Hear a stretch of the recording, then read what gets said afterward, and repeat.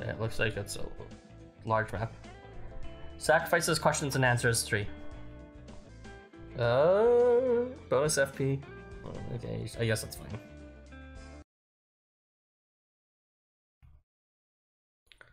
OG Kita Ward. The true guilds of the East and West both have erected walls. This militarized border is the front line of battle for Tokyo. In the shortest time since the Guildmaster of the Sunrise was captured, clashes have already begun to break out. Get moving, Mongols! They can't kill us all! Charge!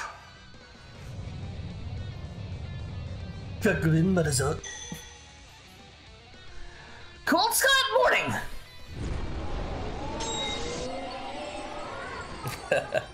Korpokkur, controller of the Ojimachi Academy portal and world representative Kamui Kotan, wreaks havoc across the battlefield with his sacred artifact.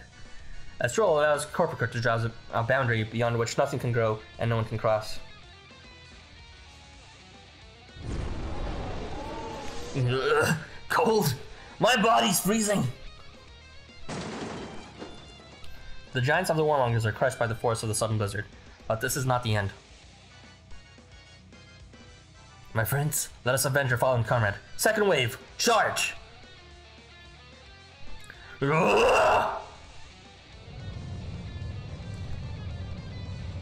The soldiers who follow charge toward the enemy lines over the bodies of their fellows, only spurred on by their sacrifices. I thought they were gonna have a discussion, not just go out and all front war. Oh wow, they're literally all here. Let us all back for now. I refuse to fight for a moment longer in this quagmire. Curse these warmongers. Always a sword on our side.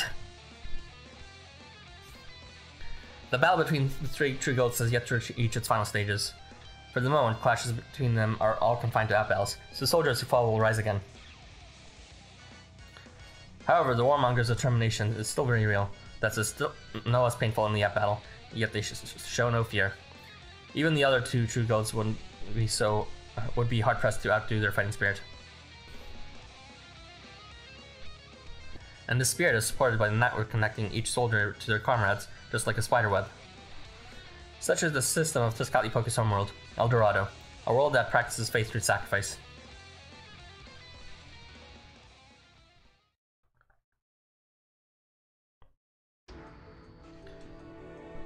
Yes, the world system compels its inhabitants to sacrifice themselves in battle.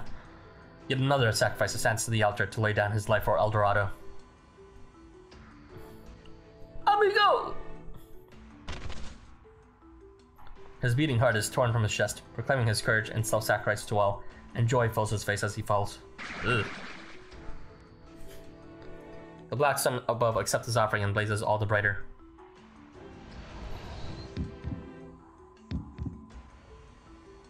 In exchange, it grants its champion a replacement for the body he has lost. Black smoke snakes into his corpse, fills his chest, and begins to beat in place of his lost heart. Amigo! The common folk watch, enraptured as he rises and strikes the gun pose. Eres increíble, hombre tigre! Viva! The crowd erupts into cheers for the display of heroism. Thanks to his sacrifice, their world will continue to turn. They push and shove to be the one to follow him to the altar. From above, the sun gazes down upon it all. Do you see the meaning in this? Look around you. All desire to be understood. Everyone craves recognition from others. In such a world, self-sacrifice is the ultimate means to achieving validation. Who would offer the fruits of their labor? They would be scorned for anyone could make such a sacrifice. Who would offer the wealth of their pockets? They would be scorned, for true honor cannot be bought. Hmm. I see. So this is an interesting sort of perspective he's offering, is why sacrifice might be more noble than any kind of other sacrifice uh, well, you know, a life sacrifice as opposed to a sacrifice of coin or of labor. A loss that can be recoupled will not suffice. True sacrifice calls for something more permanent. But an offering of one's own flesh and blood? That is beyond reproach. Only such a sacrifice can provide true validation. My mirrors reflect the bodies of those fallen heroes through every corner of this tiny world. And in their the front they feel true acceptance as the crowds cheer the name.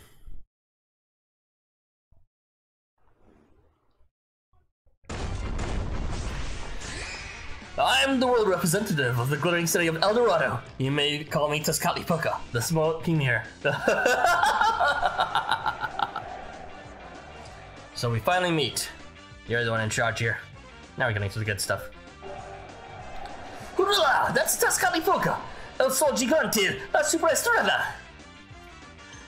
The luchadors greet uh, Tezcatlipoca's arrival with a mighty cheer. Mm. Eyes burn with a fierce emotion as he gazes at Tezcatlipoca, although you cannot quite discern its shade. Penitentiary Academy, Danger Zone, Western Tokyo, commencing record of World Representative Tezcatlipoca. The commander is blessed with admiring followers, but this fervor seems to be above and beyond their call to duty. How long has it been? Finally, we are reunited. My other half, my dearest friend, my beloved Quetzalcoatl. Quetzalcoatl? Didn't Shalal mention that name? Hold on for the list. Whoa, why? No, really? What in the world are you doing here? Why are you here, Quetzalcoatl?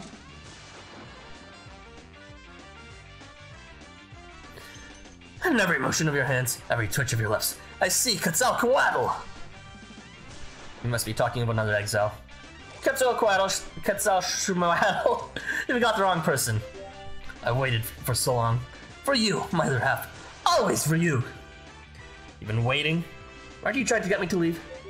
I know nothing of this, my other half. I've been thinking nothing else about, about our reunion. Okay, that explains why everyone else wanted him to leave, but, you know, he ended up being detained here instead. Uh, they wanted him to volitionally lead. Um, in fact, they want, want, would have prevented him from entering the area in the first place and prevent this whole entire fight with the street shields. So it was uh, Tezcatlipoca who specific, probably specifically requested that he was brought to Penitentiary Academy. Perhaps among our other ranks, or even among role representatives, feel differently. Well, now you've come to me of your own accord, and I have no intention of allowing you such an opportunity to go to waste. After all, I am unable to set foot outside this prison I have created. Mm -hmm. Of all the world representatives, across all the innumerable loops that have taken place in the Tokyo, only rarely have I had the chance to gaze upon your face, my other half. All the more now, so that we are prohibited from all contact but you by these accursed treaties. You are bound to this place. Indeed I am. Why do you think I am dispatched my most prodigal warriors to Kamata? What's that got to do anything? What's so important about the crafters? do you not see? Oh, but you do not. How tragic. It grieves me every time to see someone losing memories the, of the battlefield. But I have no doubt that a coming war will awaken your lost memories once more. Tezcatlipoca grins with barely me. To hear you declare war upon me of your own volition, you have no idea the joy it has brought me. Every one of the warmongers will represent those summoned to this turkey by their desire to do battle with you. And I am no exception. Wait, with me? That's seriously a reason? Laugh as you will, my other half. Show me the full extent of your rage. For that reason, I stand before you now, offering you all that I have. You think this is a joke? Let's end this right here, right now. Give it to me, all of it. Ah, how splendid you shine! Look how you bristle with rage. Yet I cannot help but lament for the anger coursing through you. Does not yet reach the heights of demand of our war.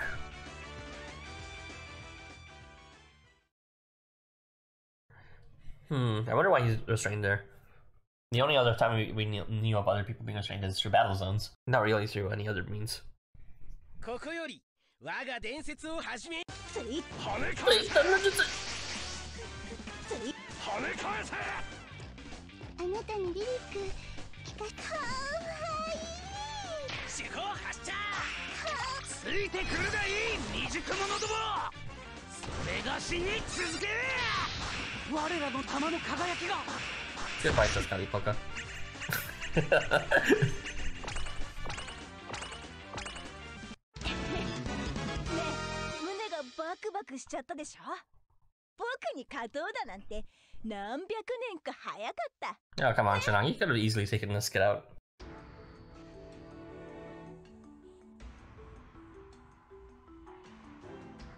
Both Quetzalcoatl and Tezcatlipoca once blazed brightly in El Dorado skies, illuminating a world where faith is placed in sacrifice.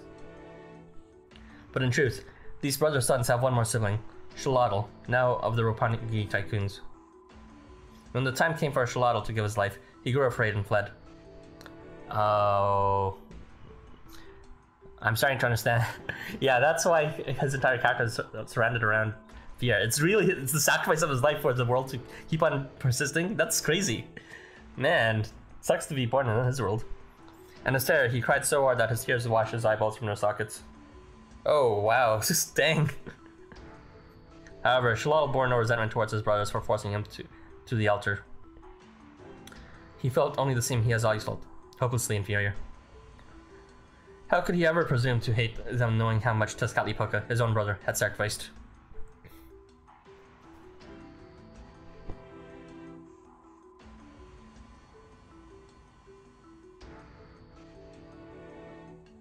Hmm.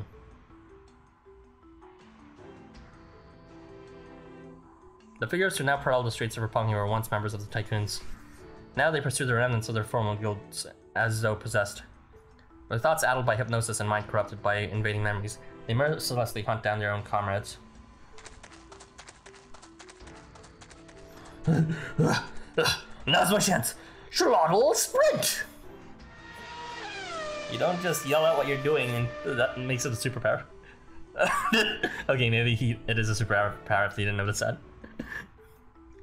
Said. Never again. I was so scared that I thought I'd have to a heart attack. Under the secret order of Hakumen, Xolotl ducks and dives through the back alleys of Roppongi. His former guildmates patrol the streets, but thanks to his newly acquired street a secret weapon, he has gone undetected. Oh, his eyes! Without his, his new pair of eyes, an artificial, official sacred artifact unknown to the invaders, he would have been caught long ago. These are amazing! I can see better than ever! I could never thank Mistress Hakumen or the crafters enough! Xolotl's new eyes adapted to his body as naturally as if they had always been a part of it. Out of all the masterpieces the crafters had produced in their long history of researching the technology of all 24 worlds, this particular piece is among their finest. Oh yeah, now I remember. Matsumara mentioned that, I think. Back in Kamata, Matsumara explained that the dark matter sacred artifacts are made of is very similar to tra transient bodies. Dark matter sacred artifacts are made of. Well, yeah, sacred artifacts are made of dark matter. So are the walls, I think. Uh, the walls of uh, what's called any battle zone. Hmm. This is why Xolotl's ball, Xolotl's ball is adapted to his new eye so readily. Uh, because uh, I guess they're um, made of composed of the same material. Tezcatlipoca did something similar with his warriors using secret artifact, I'm sure. Though he never ever used it on himself. Ah. Oh, wait, maybe. No, there's no way. At that instant, Xolotl realizes just why Tezcatlipoca sent his soldiers to war to attack the crafters, and why he never made a personal appearance in spite of his clear desire to fight Quetzalcoatl. Yeah, this is bad. This is so bad, really bad. I've got to kill Quetzalcoatl. I, I mean, Arthur.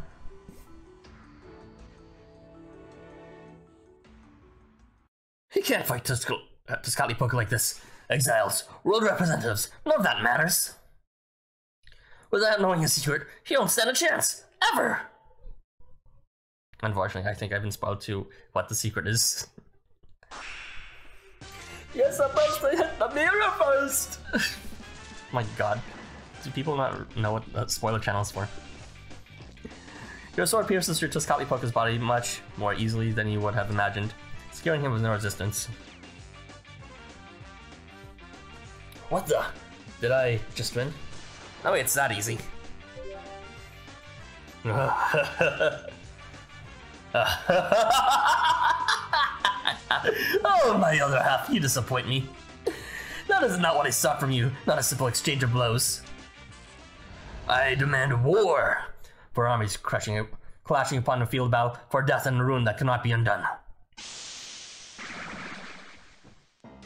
Tezcatlipoca's body comes apart as he speaks, unraveling into fine black threads like spider silk. Your sword had appeared to skewer him, but it has, in, fa- uh, it has in fact passed harmlessly between the threads. What in the? Here, this trick again.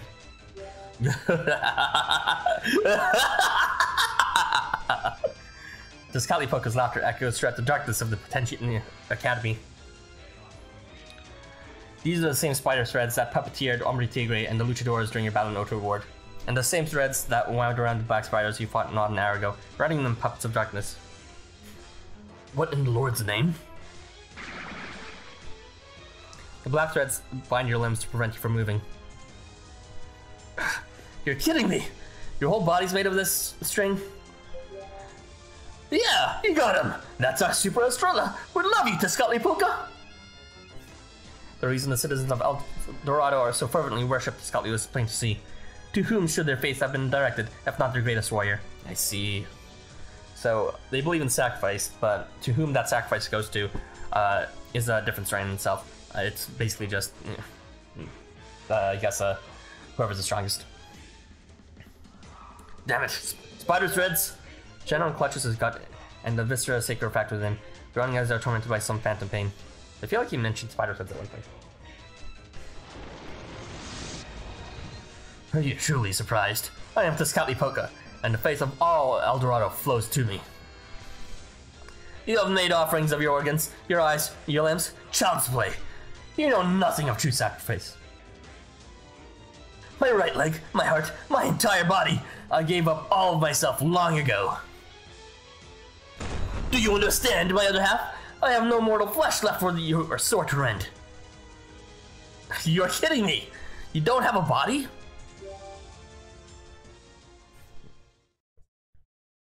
You're supposed to hit the mirror. The rules of war, one.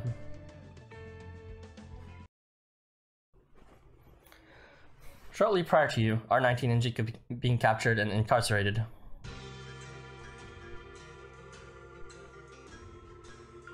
In the special containment unit in the heart of Penitentia, Tezcatlipoca is deep in conversation. So that is the truth of it. I did wonder why you would abandon your school and seek refuge in Penitentia. Or rather, what circumstances would force you to do so. The man conversing with the Tezcatlipoca nods in acknowledgement. You are wise to turn to me before any other world representative. For a while we walked different paths and served different goals, the ends we desire are one and the same. Why the role of El Dorado has granted me, I am both banisher and banished. In this sense, perhaps I can find common ground with an exile such as you. Why are they censoring Mononobe? We've already seen his face. Very well, I can see our objectives align. I will allow you to hide away in solitary confinement for as long as you wish.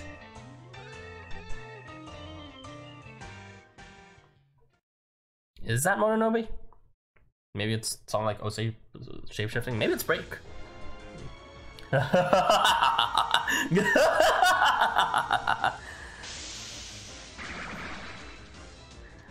What's happening now? The Tezcatlipoca's shadow fires out black wires and entangles you and your friends in an instant. Someone's venom fetishes signaling off right now in the distance. With long spindly legs sprouting from his black and black uh, back and black threads spraying from his mouth. The Therian's silhouette resembles an enormous arachnid. He's a giant spider? Is that your true form? So naive, my other half. I have no true form. I lost my body long ago. I may assume the guise of majestic jaguar or a giant spider, but these are mere memories conjured from smoke. My right leg, my heart, my eyes, Everything. I sacrificed everything I had to El Dorado. Do you understand of my other half? I have no mortal flesh left for your sword to rend. His right leg. No, it looks no different from his left leg. Then again, his entire body speaks, whatever. This is the secret behind Tezcatlipoca's inability to step outside the bounds of Penitentiary Academy. As well as the true reason he defied the treaty between the three true goats in order to, to order an attack upon Kamata. Other than having the crafters create a body for him to inhabit, there is no way he can ever leave this prison. You sacrificed everything? Your entire body? Then what are you now? So he's not able to leave without a body? I mean, he seems to be able to leave with smoke. I don't know why his smoke can't just leave. So it would seem. You have given up more than just your eyes or your limbs or your entrails. Your entire body is gone. Jacob surveil surveys Tezcatlipoca with unseeing eyes. and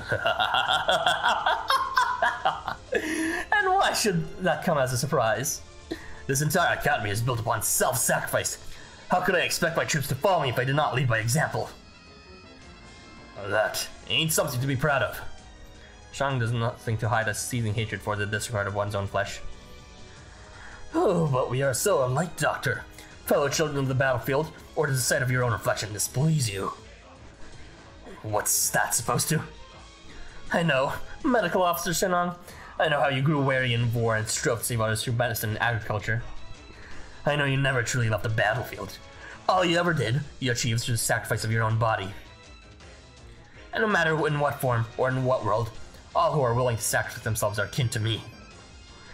I will tell you this, Doctor. Struggle as you might, you cannot flee from the system of El Dorado. You and your kind can never escape from my grasp.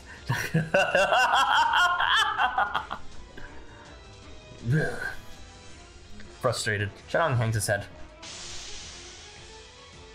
So that is a similarity, even if they're from different worlds. Uh, that is what's binding the, this unit together of the Warmongers. Probably not the entire unit that's like this, but uh, maybe a very large part. um, yeah. Have you ever realized the predicament you are in yet? Force will not avail you, my other half. I have no flesh to cut, no bones to break. I have no body but the system of penitentia itself. You're supposed to the mirror. Does that even make sense?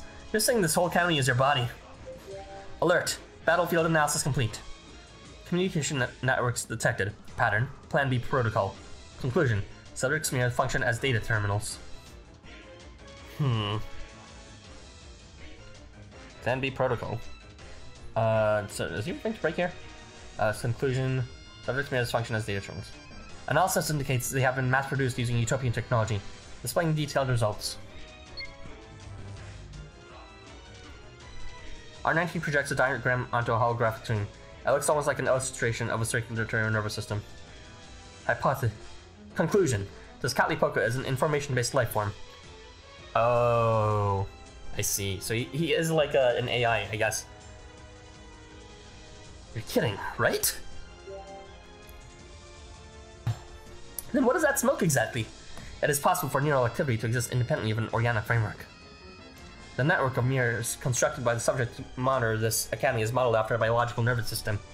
As such, it exhibits the capacity perform logical operations. Your friend speaks true. As long as penitential network exists, as long as suspicion compels my soldiers to monitor one another. I will persist, fleshless yet undying, within this black spider's web. Do you see now? War, true war, is widespread slaughter driven by a system. That is the war I desire, an all-consuming war that will swallow the whole, whole world. And that, my other half, requires your recollection. Now it is time. You remember the true nature of war. Come, my mirror, engrave my name of Tezcatlipoca onto thee. I stand for the endless swords who sacrifice themselves to war, and thus you too are cogs within my system. I am the smoking mirror, and the truth of the past is revealed to me. Dark reflection. Titlacoan! Tezcatlipoca's mirror bellows more smoke than ever before, and black light streams from the surface to project visions upon it. Hmm. So the smoke is coming from the mirrors themselves. And black light streams from the surface visions upon it. Oh, I see. And they are also the light source, I guess, uh, manipulating them. Well, yeah. That so the smoke is merely uh, a medium. Uh, the mirrors are the actual manipulator of those the smoke. The, supposed to hit the mirror. The worm is consumed by an inky cloud. Uh, slowly, it turns into a closed space resembling a battle zone. You and your friends are slowly swallowed up by the landscape of memory, as though you are sinking into pitch black mire. And your memories of battle return to you, or rather, they are thrust upon you. I can't breathe! Smoke's everywhere! I can't see! Wait, there's something in the smoke.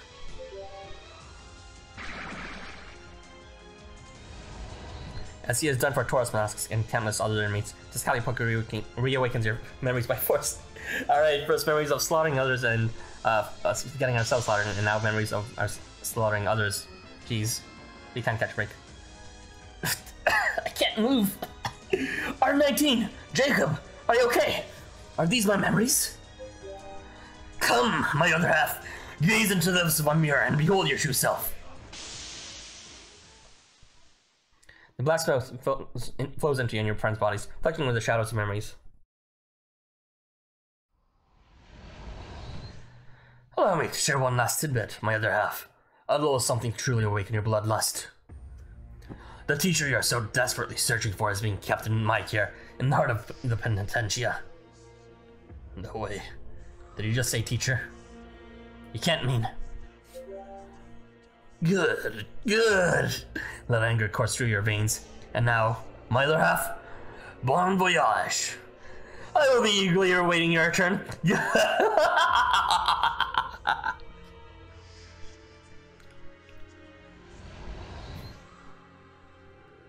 The obsidian mirror draws closer, spewing ribbons of black smoke until it fills your vision. Then you, Jacob, and R19 fall into true darkness. Now then, Doctor, perhaps I should have jo you join them on their journey through the past. Accompany them and ensure their safety. For you and your sacred artifact, that should be a simple task. Once more, Tezcatlipoca's black. That's a pretty interesting transition. Tezcatlipoca's black sword bellows front and forth and swallows Shennong whole. Uh, command. No! Damn it! Tezcatlipoca, what the hell are you doing? Our medical officer bears responsibility for the well-being of our troops, do they not? I'm only following our code, Doctor. And as you said yourself, our code is absolute. Stop. No! Shennong's burning glare remains fixed on Tezcatlipoca as he vanishes into smoky distance.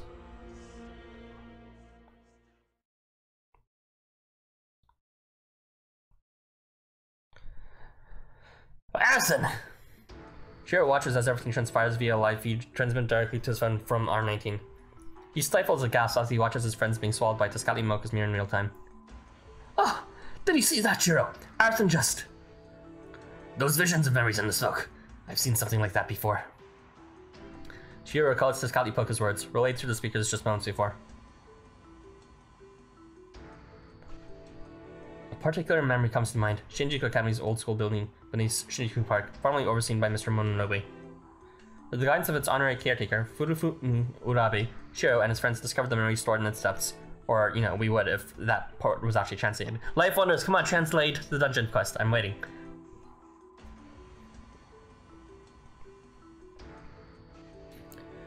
There are memories of battle, accumulated over countless loops. An infinite number of visions of a fallen Tokyo.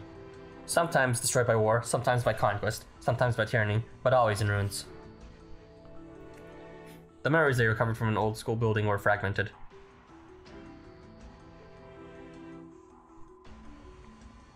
Hmm. Am I saying spoilers right now? God damn it.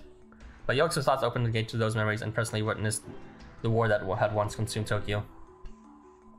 Life Wonders, translate this! So thoughts opened the gate to those memories and personally witnessed the war that had once consumed Tokyo. So the land itself was keeping those memories, and with thoughts, they're able to open uh, those memories to be seen. His memories contain little concrete information, considering that he himself claimed to have been sealed away. However, it was clear that they had been born from pain and death that was very real. There could be no doubt that the nightmarish Tokyo they had seen was once very real. Or that, if matters were left to run their course, that nightmare would befall this Tokyo just the same. Okay, so through the dungeon, they were able to confirm it wasn't just like hocus pocus. Uh, the memories they experienced are real. It's not just a, a tactic that's used by the enemy to, you know, deceive them. Hmm. When that bell concludes, the wall light vanishes and everything resets. This automatic reset is a bit like a safety mechanism. However, if a battle were to take place in a battle zone without one, mm, the light vanishes and everything resets. Hmm. As long as the battle zone remains active, nothing will reset. The battle will continue, no matter how many lives are lost. Knowing that, and still leaping right into the dragon's den. You can trust your guildmaster to always risk everything, no matter what's at stake. Arathun swore he wouldn't let this game loop anymore, and he wouldn't let this awful history repeat itself. If he can do that, then the least I can do as a strategist is believe he will come back safe and sound. Agreed, Shiro. I shall do the same. Moritaka's orb glows with a symbol for filial piety. Uh, piety. He clasps it tightly, his determination clear to see.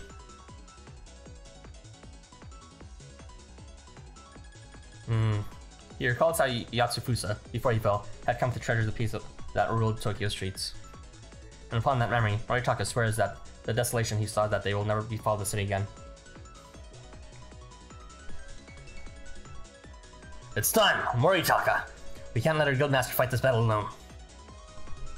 Shiro glances down at the message he received from the Kabukicho outlaws. These precious findings, acquired through what remains of the police, could shine a light on the darkness over Penitentia. Understood! Lead the way, Shiro! The pair dashes off, headed for Kabukicho. Kabukicho? Kabukicho.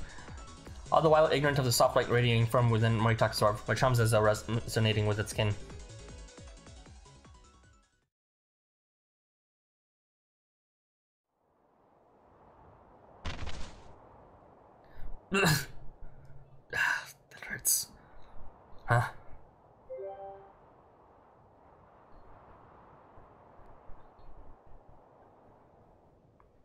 Last thing you remember is the smoke of the Scally mirror swallowing you whole. When you come to, you find yourself amid what looks like a crumbling ruins of Tokyo. You've seen this before. This must be a memory of a past loop. This one's different somehow. The sight before you differs from the visions you were once shown by Azathoth, and it does not match the memories you recovered from the depths of the old school building library either, the ones that you never actually saw yet.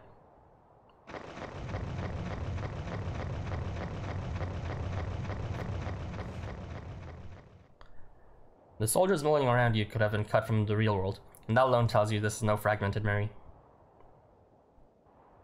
You are looking at the faithful recreation of past. This is the power of the Scotty Post Network, the power of a world pillar. You're about to bear witness to the memories of a warmonger's crusade that consumed Tokyo. You are to observe the memories of the Scally Poka as they play out across the drifting smoke of the battlefront. Alright, I guess this is a large map. Particle Tower time. The rules of War 2.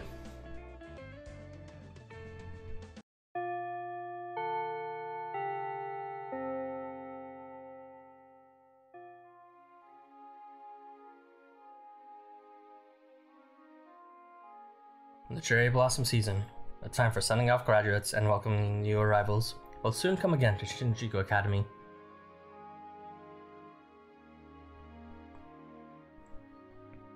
In this time of change, a certain teacher's thoughts turn to students, who are in many ways still children.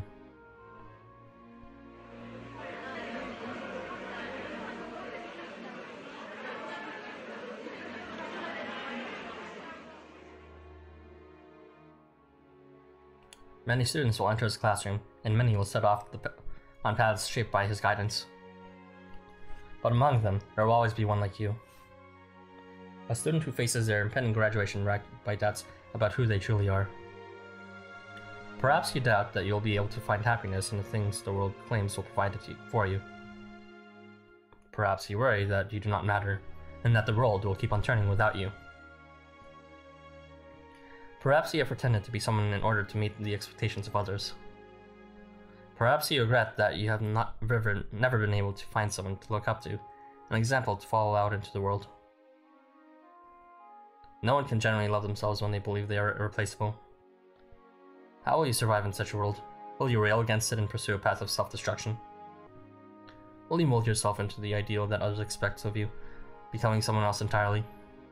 Or will you accept the rules that the world makes for you and live your life on those terms.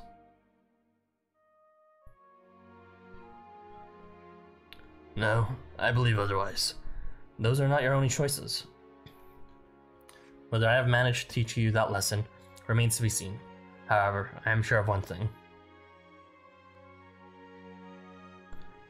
What I am about to tell you will seem cruel. It will sound as though I have abandoned you. But even so, or perhaps because of that, I know that you need to hear it.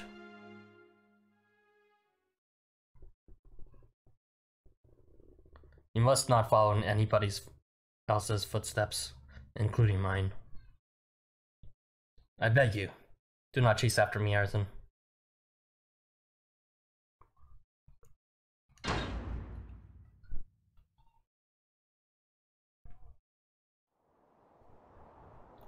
The three true guilds have divided Tokyo into three sections the east, south, and west. No love for true north, strong, and free. The rulers of the west are a guild of politicians and war makers whose soldiers would gladly die for the cause, the warmongers. Hmm. The rulers of the south are a guild of conquerors and revolutionaries who, stroke, who stoke conspiracy and treachery, the invaders.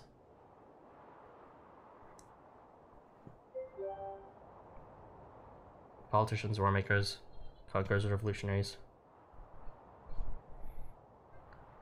They're a bit similar in terms of their purpose, but I guess warmongers are more about those, uh, I guess, war machines. Those have been kind of made numb by war to, to act as a war unit. And uh, invaders seem more like, I guess, you know, Manifest Destiny America or something. And, uh, I don't know. I, I don't know anything about the invaders. We, we know too little about them to really characterize them. And the rulers of the East are a guild of judges and arbitrators, and their name is. Technically, this is also spoiler because they've never even mentioned it until now, but I've mentioned it several times. The rulemakers. Oji Kita Ward.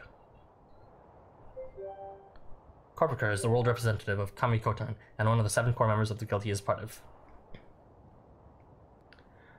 Ojimachi Academy and the surrounding area are his home turf. He controls the Ojimachi Academy portal. In this, this hotly contested territory, the true guilds of the East and West clash in perpetual battle for dominance.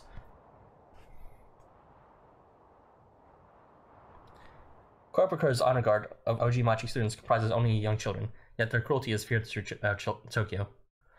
Without mercy or compassion, they hold dominion over the battlefield. Come, little ones, my leaf will protect you. Cold sky at morning!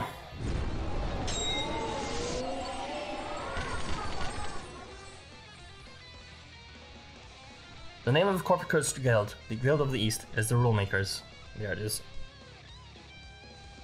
Even the Warmonger's fanatical determination cannot save them here. One by one they fall, but the battle is not yet over.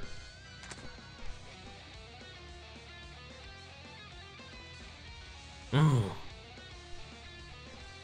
From behind the giants appears a newcomer to the battlefield. Another young child. Curses. Find hell.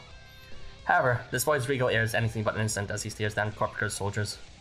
Although he hardly even registers the giants, uh, the sight of this new arrival brings a grim expression to Korpokkur's face.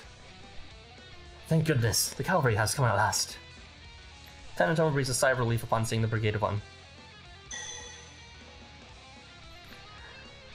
Though countless stars at midnight be twinkling until morn, all will turn their gaze to me when comes the fiery dawn. Kneel before the sun, soul our prayer!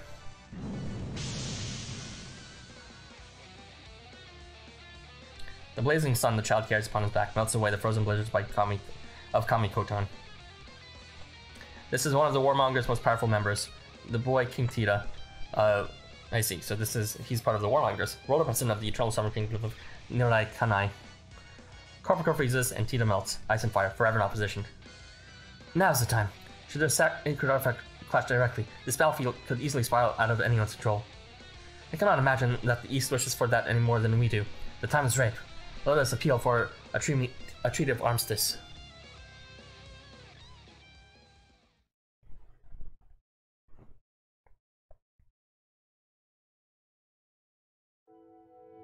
Representatives from the East and West come forth and add their signatures to the proposed treaty. Engrave my name of Horus of the Rule Makers, World Representative Aru, unto thee. May this treaty represent an unbre unbreachable accord.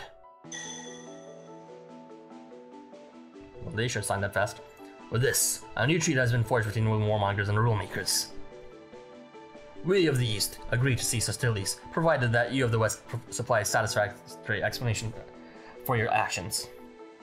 However, know that should the terms of this treaty be breached, my secret artifact will bring the sun's fury and judgment down upon the one responsible. The Avis Therian representing the East pronounces the conclusion of the treaty with sacred artifact in hand.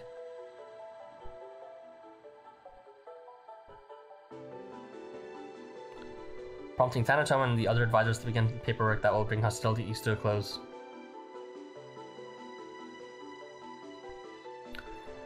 Magnificent work, Counselor Imisaka. It seems like our duties have been taken care of. You have done well for yourself, Yasuyori. But another treaty means yet more work for us. Hmm. Tenentomo sighs, thinking of the countless treaties that have been built between the three tree guilds over innumerable loops. It is typical left to advisors such as Tenentomo to check the minutiae, leaving them constantly busy. Now, I'll have the draft response to the east about this breach of our treaty. Hmm? Well, well. Not an unexpected development, although one far worse than I had imagined. Tanatomo's face darkens upon seeing an app notification from the southern battlefront. The invaders? Councilor Imisaka, is something wrong? Not the battle with, with the south, is it? While the eastern front has been brought to a ceasefire, the situation in the south has taken a dramatic turn for the worse. The forces of the warmongers have been whittled down, and little remains. We always knew that our human wave tactics would be ineffective against the deception of the south, but Armed with the ability to falsify memories, the South had little difficulty turning the warmonger soldiers against them. Hmm. Counselor, I hear that the Penitentia has dispatched General Valor to the southern front. Surely that will... It will correct the balance for now, yes. However, we face long-term problems. We must secure new recruits. Can I trust you with this, Yasuyori? As you command, Counselor. I will pay a visit to the Superintendent Daikoku. Daikoku is not merely a police officer. Countless transients have been sold on the black market through secret auctions. Ooh. He was also the man who had once captured Yasuyori and sold him off to Penitentia Academy. Outside of very exceptional circumstances, the three guilds, uh, true guilds cannot freely recruit their own soldiers. There are countless loops, they have signed many treaties to facilitate splitting Tokyo into three, and that extends to restricting conscription. I'll inform Mahakala of your visit. Now go. Understood, Counselor. I will depart at once. Yasuyori bows and excuses himself, unaware of the soft light radiating from within the orb of Brotherhood inside his pocket, but trembles in anticipation for a coming encounter.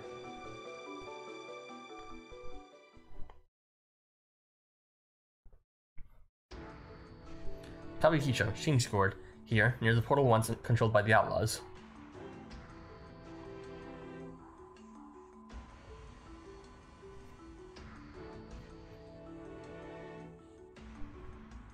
Oh, just Colin Poker can really spread himself then, huh? Damn it. Never thought the day would come that I'd be letting outsiders stomp around my town like they own the place. Suzuka pulls down the blinds of Tsukiyomi's club just enough to peek through the grimaces of the outside view. And grimaces at the inside view. The shadows look just look just like Tajikawa and his friends, don't they? I guess that means the Shinjuku police have already fallen to the warmongers. An aura of black shadow wavers agitatedly in Tsukiyomi's right hand, calling out to its counterparts. You're saying Constable Clueless went and got himself doppelgangered? That fool. I bet he never even saw it coming. He always was too trusting. the few cops ain't gonna tip the scales one way or the other. It's not like they're ever on our side anyway. Losing Tetsuaki Baraki and the old Tanuki is gonna hurt us a whole lot more than they ever could. Now then, we made it to nighttime, and that means the time for guild battles is over. Tsukiyomi, acting guildmaster of the Kabukicho Outlaws, sinks deep in thought. Never has he seen shadows show such cohesion, not even when he stood outside and allowed the genociders to overrun the city. If there was someone out there with complete control over memories of past loops and the shadows of our defeated selves, then there may be no limit to the enemy's reinforcements. I know you're the king of the night, but is your night vision working? Who the hell could be controlling that many shadows? Mahakala, the great black one. It must be. Oh, I guess it's not as. Slowly, solemnly, Tsukiyomi speaks the name, and then breaks into a devilish grin. But as Suzuka just kindly reminded us, I happen to be king of the night. Fighting under the cover of darkness is my specialty. I can't just sit by and watch someone get the better of me in my own domain, can I? Besides, I shudder to think what the Queen of Kabukicho would do to me if I didn't take this chance to show off a little.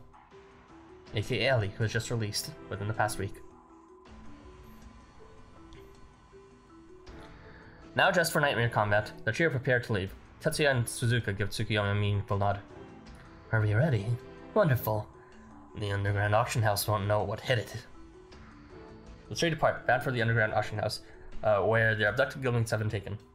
Well, at the end of the day, the reign of the sun ends as well. Night has fallen, and in the battles to come, the moon will rule.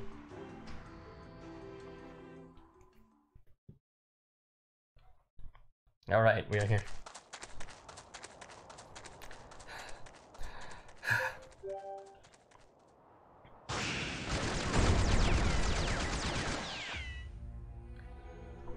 How much have you run to make it this far? How many battles have you fought to survive this long? Silhouettes of countless memories appear from nowhere on this battlefield to replay scenes from wars past like automatons. You attack, strike, maim, shoot, stab, kill, and in the end, fall like lifeless stacks of flesh. They all fall. But that is not the end. Out of nowhere, they reappear, hale and hearty, as though their battle just moments ago had only been a dream. And they fall again, and again, and again. The endless repetition is all there is. With each new battle, your foes seem a little less like living beings. With each new battle, you feel a little less fear, fear, but you also care a little less about your own life. Repeating over and over, it never ends. Gradually, you lose track of time. Your thoughts become so sluggish that you struggle to remember how you even got here. All you understand is now. Living like a a war machine. Aoji-sama! Master! Master, you can't forget yourself! Master! Remember that none of this is real! They're just visions from that big old assy Tezcatlipoca smoke! Oh, thank God you're here, Tez. Uh, it's not Tez. Bill Salmon, thank you. How about some happy little belly rubs? Uh, and so, and so ferocious petting ensues. Once so legend that will be spoken of Tokyo for generations to come. this is the best. Master! Oh, just got so good at this. You haven't been petting any other from so I'm not around, have you? You saved me, little salmon, for real. I'm so glad you're here. I'm pretty surprised he is here. What, what's with these memories? There's nothing particularly special about the memories this Tezcatlipoca is showing you. They simply never end. The battle repeats over and over, perhaps for eternity. Aside from that, this battlefield is exactly like an battle. Once the slaughter concludes, everything is restored to the way it was, and the battle begins again. This process is enough to strip all of those involved uh, of, of all fear, eventually losing their self sense of self-preservation. Was Dorsmash shown this too? Maybe all the others saw too. Shh, Master, look over there! You've gotta see this! What in the... Is that who I think it is? Bathing Pollux? And the body shot.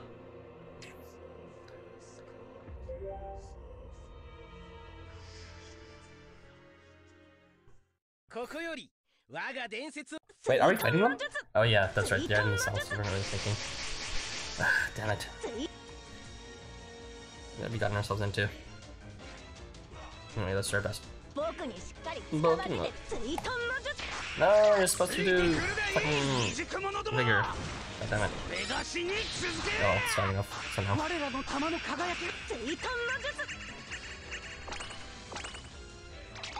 Thank goodness for the coming plus five seeds. um, it'll make uh, that first charge a bit more reliable for eliminating the board. Yeah, we got Berserk. Everyone got Berserk. Okay, bye. はい。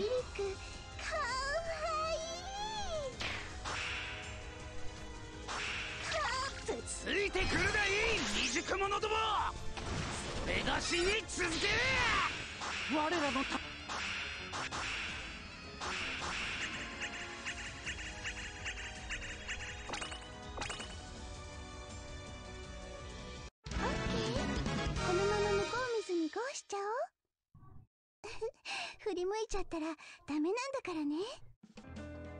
Okay, looks like it's just more battle in the uh, memory.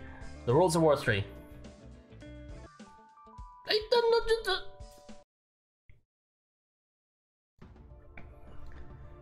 The underground auction house can be found deep beneath an empty office building in Shinjuku, quite literally underground. Belly. Belly! Its entrance, a tiny stairwell, is easy to miss at a glance, but it is nonetheless uh, it nonetheless marks the boundary of a world beyond normal. Individuals of many different stripes descend the steps with bodyguards in tow. Some of them are bored financiers, others are simply dilettantes, and yet others are career criminals. All of them are here for the same reason, to attend the day's auction, where all manner of living live curiosities are up for sale. None of those items could be obtained through conventional means. Many are not even of this world. Even figures as illustrious as Macan Gadungan, the first place ranker of berserkers, have been bought and sold here.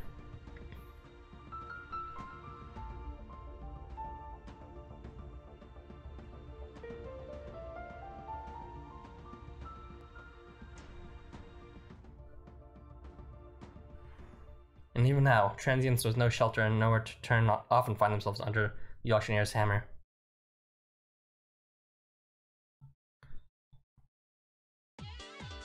Yeah, interesting music.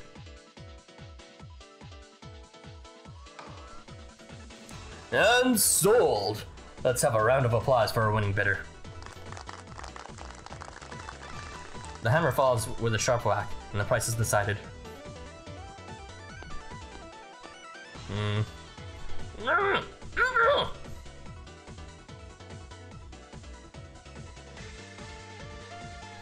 The auctioneer's assistants escort the goods to and from the stage. Again and again, the hammer falls. Now, Tokyo Whites and Transients, the moment you've all been waiting for. Tonight's prize item comes to us all the way from Utopia. They caught Ryekie? With a grandiose gesture from the auctioneer, the item is in question is ushered in, bound hand and foot. Break, the stray transient whom the Sunrise Guildmaster met one rainy night in Shinjuku Central Park. During a subsequent battle in Ota Ward, a memory of the Assault sent both him and Hombre Tigre's forces flying through space.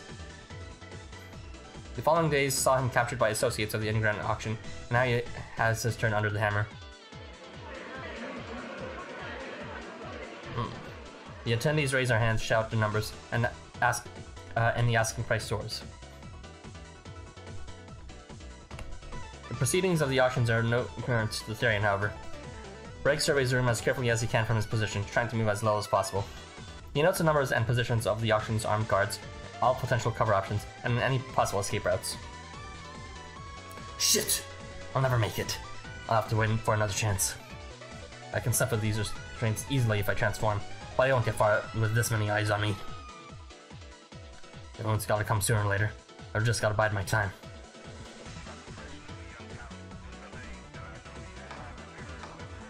And sold! A round of applause for the highest bidder of the night.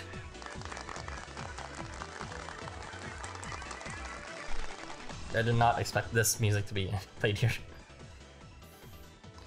Meanwhile, at the auction house entrance. Understood. We will take care of the front then. With any luck, we'll be able to rescue both our warrants from this mess. I'll be in touch again if necessary. I'm sure a crafty old crowd like you realizes we outlaws and you police are in this together. Hey! So we're actually teaming up once. Although I guess uh, Hogan was always somewhat cooperating uh, with the Outlaws in the, the, Clash of Floats event. At least peripherally. In, in the very least, he wasn't like directly only like Tadachkai was. Sorry about that, Summoners. Now then, shall we hop out of the frying pan and head into the fire? Of course, we're right behind you. Just a moment before going. I'd like to make sure we both know why we're here. We're here to recover our guildmates. We have reason to believe they're being auctioned inside. Let me start from the beginning. Right now, the outlaws are trying to fend off an offensive from the warmongers. We managed to weather the storm for a while, but in recent days we've been raided several times by the police. They arrested many of us, needless to say, our line has crumbled, and our guildmaster has been effectively paralyzed. For us yet, we've heard nothing from our guildmates since their arrest. An insider we have in the police force tells us. They've been imprisoned in a facility in Nerima Ward and are unable to contact the outside world. Oh, I see. So, so they are at Nerima Ward, but the other, you know, unnamed uh, outlaws are trapped here. I'm trying to get it. Do you mean Penitentia Academy? Tsukiyomi smiles and nods, pleased that Shiro is following his explanation so far. Exactly. As we both know, Penitentia Academy is under Warmonger control. But unfortunately, you and I don't have the manpower to mess with matters that far west, if you catch my drift. So we're in the market for an alliance with a third party, and what do you know it? Here you are. Whatever your reason for trying to get inside Penitentia, I'm sure it's just as pressing as ours. Correct on all accounts. But where on earth did you acquire that kind of information? Well, let's just say that your seniors are better connected than you th- might think. For example, I might happen to know that you've been spending a, a lot of time with a certain third year librarian. Oh, so he's in cahoots kind of with, uh, you know, Jean, Triton, and but most likely just Mononobe. Now, what could you be researching inside our school building? A librarian? Hmm, you mean Furufumi? Don't worry, our mutual friend isn't spelling anything about you behind your back. We just have a connection of sorts. But I'm afraid that's a story we don't have time for. We should get back to business. What matters right now is that we both need to get inside Penitentia Academy. And of course. Well, let me say our side of the story. Shiro explains that his guildmaster infiltrated Penitentia Academy in search of clues about his kidnapped friends, and that after watching his him engage Tezcatlipoca, he concluded that he needed more direct support. However, attempting to enter Penitentia, as his guildmaster did, by getting deliberately arrested would be extremely risky. There's a high, risk, uh, high chance he would end up simply being sent to another facility, unable to help anyone. True. So he has chosen more reliable angle over tech, joining forces with the outlaws. So this is a rescue operation. I see. In that case, it makes sense that both of our paths would lead us here. The underground auction here is the only way of entering Penitentia Academy from the outside. Wait. This underground pathway? Isn't it like a... This is under Shinjuku, right? Isn't that quite far away? Penitentia from the outside. So there might be like a secret underground pathway? Hmm. Please, excuse my foolishness, but I fear I can't quite follow. What does Penitentia Academy have to do with this auction place? The auction house is both a hotspot for transient trafficking and the warmonger's number one source of new recruits. Transient. What? Unforgivable! Such cruelty cannot go unpunished. Well. Oh, so that's how they're getting new recruits, I guess. If this is uh, completely, you know, hush hush from the the other three guilds, this is how they are able to conscript new uh, transients without the knowledge of the other uh, three of the three true guilds. Well, I think we can see for ourselves how Moritaka feels on this issue. But what do you think, Shiro? Honestly, I can't begin to comprehend how anyone could buy and sell living beings at all, let alone so brazenly. Righteous indignation on all counts, then. Of course, I don't condone any of this either. But before we go in, I hope you'll listen to a word of warning from someone with a bit more experience. In the battles to come, that inflexibility will be your downfall. Surely you cannot be telling us to allow villainy to go unchallenged. Not at all. What I mean is that by partitioning the world into what is comprehensible and what is wrong, you have already lost. After all, that is how wars are begun. If you draw a line in the sand, someone will eventually cross it, and conflict will spark. But war is our enemy's home turf, and we can't hope to fight them in their own terms. They're called the warmongers for a reason. I see. If you dismiss ideas as unacceptable or incomprehensible, you will never be able to move forward. And once everything is clearly delineated, the powerless are helpless against the powerful. So, the warmongers, you can have your own sort of opinions on them, but once you start, you know, marking them as like irredeemable or like cross some line or uh, basically label these kind of actions as somehow different from what, what you can tolerate, then you've already lost because their home territory is really all about crossing those lines and taking advantage of when conflict starts as a result of that. So I guess he really is saying to play along, or in very least, uh, not to be so quick to draw the line. The strong defeat the weak. Might makes right in the end. So what do you do if you can't defeat your enemy on their terms? You drag them into your own game, make them play by your rules. Only then will you have a chance at victory. Just the tip of a jaded third year. But I'd appreciate it if you kept it in mind. Thank you. I know words of wisdom when I hear them. Tsukiyomi winks seductively and tazzles Shiro's hair. For now. Oh wait, I just realized Shiro's using his anniversary skin. Way to reuse assets. That's great. And um, I'm already talking to him, of course. For now, uh, just let me handle the dirty work. I don't stay up all night for nothing, you know. Auctions are a clash of strategy and profiteering, but they follow certain rules, and there are ways to gain the upper hand.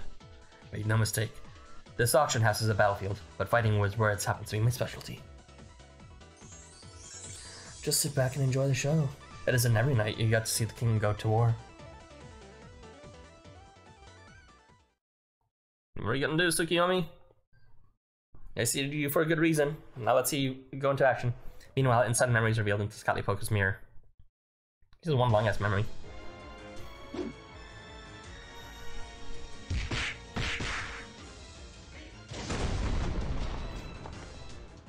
Make swing, but think better of it, dodge attack instead. A desperate battle unfolds within this world of endless war. The fierce assault from these three transients you once called friends is relentless, forcing you to stay on the defensive. Stop the Sanvari.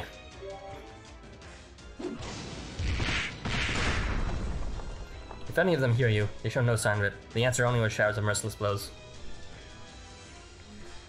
They're just like I was before. I'm only an enemy to them. I go using them, uh, I'm toast. In every one of those strikes, you feel their intention to take your life. A relentless storm beats you and batters your guard until eventually, inevitably breaks.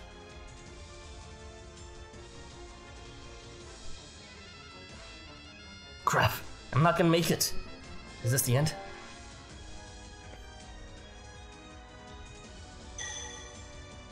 In that instant, you see a metallic glint from behind Bathing. You can barely blink before you recognize it as a needle of a syringe, aiming for the backs of your attackers. Naughty children get put to bed without supper. Doctor's order.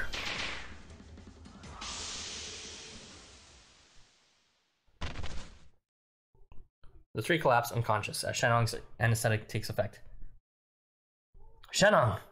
What are you doing here? Thanks for... See... What? What the hell do you think you're doing, Yasin?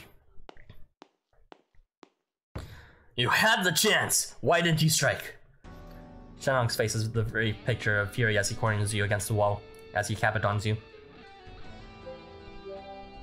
You'd rather get yourself killed than hurt your friends, huh? That's it? Are you telling me you came all this way just to end up once more a corpse? The battlefield ain't a place for naive kids who think they can save the world. Folks like you never even make it through the first hour. I thought I told you you don't have any business here. Why can't you just listen to your doctor? Yeah?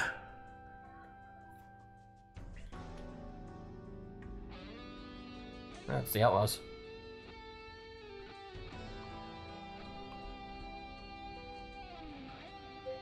Tetsuox! The battle rages on in this world of memories, without mercy and without end. No, Tetsuox, what about those words he shared with me in Jiangxi Night? What happened? What happened?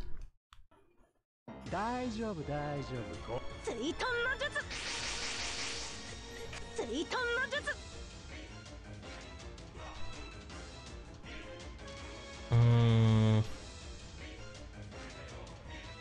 Well, hopefully this is gonna No! Okay, fine. Bitch, yeah!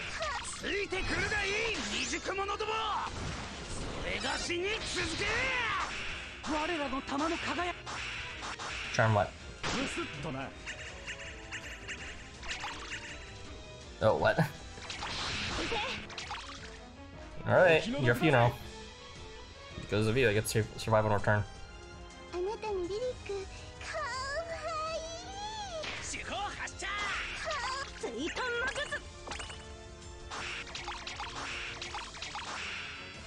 Thank you, Yaksha. and Shennong needs some moral support.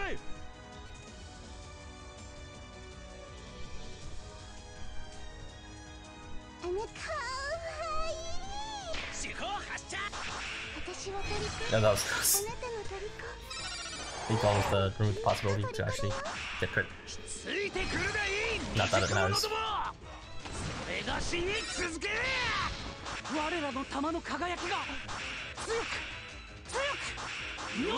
Wow, imagine content that existed, you know, before the Energy. Oh, whoops. Oh, that's Pug. He didn't even say Pug. It never happened. Uh... Let's just, uh... Take, uh, these different people for a spin. Goodbye. してほしかわいい手法発射ブスッとなよかれと思ってやったのに。こりゃ団地あなたにリリック。聞かしかわいい。追加 There you go.